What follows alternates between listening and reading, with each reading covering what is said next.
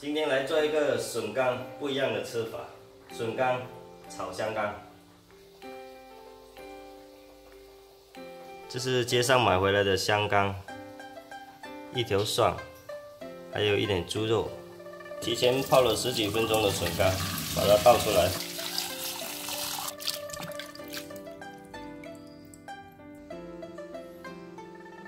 香干先来切一下，切薄一点。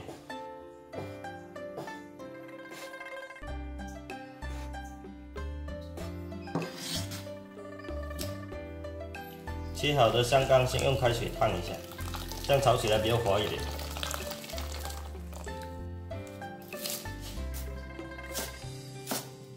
蒜切一下备用。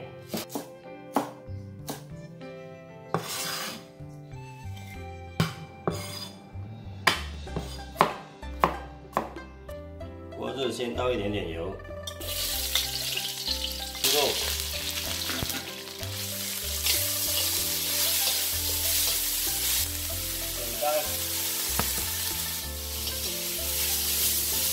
香干比较容易熟，所以笋干要先焖一下，加点水焖一下。